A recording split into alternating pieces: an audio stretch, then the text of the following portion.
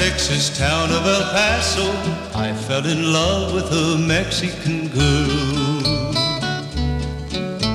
Nighttime would find me in Rosa's cantina. Music would play and Felina would whirl. One night a wild young cowboy came in, wild as the West Texas wind.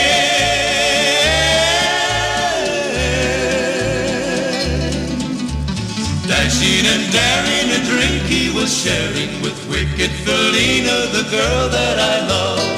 So in anger I challenged his right for the love of this maiden. Down went his hand for the gun that he wore. My challenge was answered in less than a heartbeat. A handsome young stranger lay dead on the floor. Just for a moment I stood there in silence, shocked by the foul evil deed I had done. Many thoughts raced through my mind as I stood there. I had but one chance and that was to run.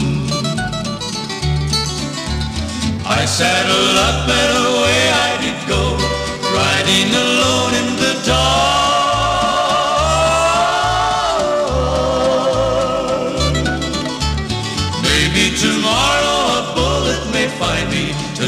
nothing's worse than this pain in my heart. And at last here I am on the hill overlooking El Paso.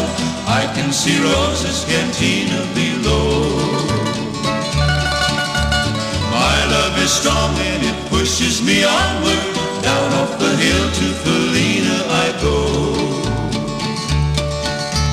Off to my right I see five mounted cowboys. Left, right a dozen or more.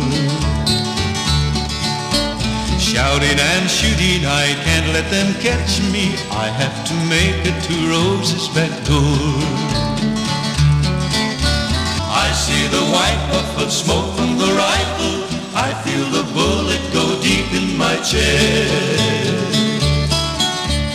From out of nowhere, Felina has found me,